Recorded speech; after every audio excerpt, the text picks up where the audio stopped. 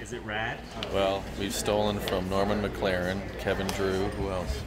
Um, Pilobolus. Pilobolus, yeah, and uh, Bob Fosse.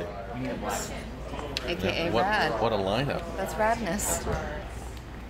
So where did you sit here? Uh, everything that you see that you, can map out. Yeah, right at the top. It's, like, like Want me to fully rest? Yeah,